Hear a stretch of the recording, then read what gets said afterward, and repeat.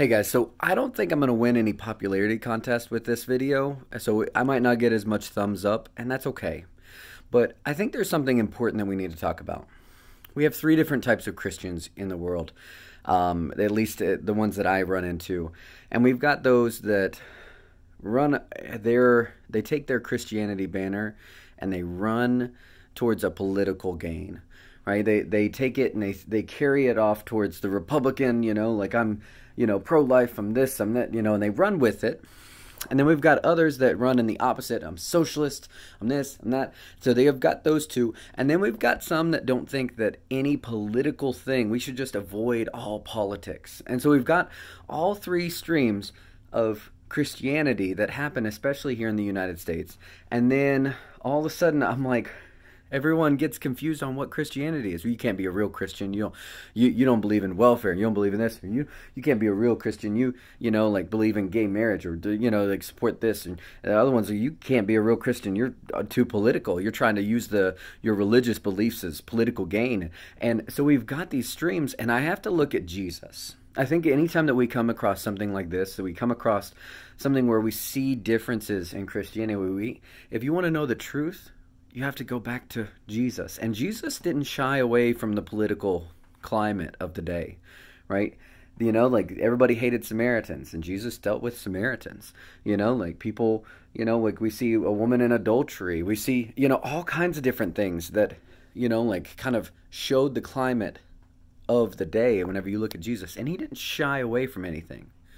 However, he didn't also, he didn't really like give the answer they were looking for right? He didn't just kind of follow along, I'm Republican Jesus and I have, you know, the, the, Republican answer. He didn't go along, I'm socialist Jesus and I go along with the socialist answer. He actually just kind of came back to this idea of, hey, there's hard lines and no matter what we have to love. There's hard lines of things that has to happen and things that, you know, like, hey, if you if you want to follow me, you got to pick up your cross. That's a hard line. There were times whenever Jesus gave a hard message, and half of those that were following went away. And he even looks at the disciples and he says, Are you going to leave too? Right? So he wasn't afraid of the hard message. He wasn't afraid of taking a stand, but he knew that in the end it wasn't about, hey, are you a Sadducee? Are you a Pharisee? Are you a right winger? Are you a left winger? He was looking at it and saying, look, what what can I use this for in order to push forward the kingdom, to push forward the message that God is love, He's here to redeem, and we have good news. And that good news can be hard news at the same time. So that being said, I just I just want to encourage us. Sometimes we let our political beliefs shade how the way that we see our religious beliefs instead of the other way around. I'm not anti politics. I'm not anti, you know, like those that are, I'm not anti anti politics.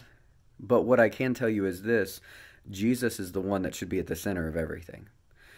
I have friends that are Democrats, I have friends that are Republicans.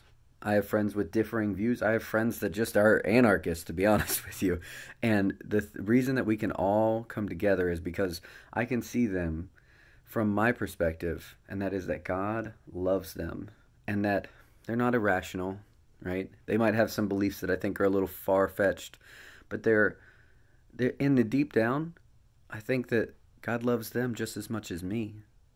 And I know that God put his fingerprint on him, on them. And that I know in them there's a calling. And I've got to look for that.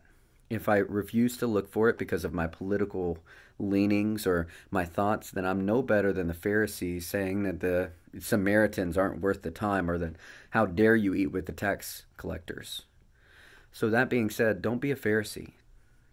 Don't shy away from the political climate, but don't be a Pharisee. Right? Let's show love today. Thanks for taking a minute.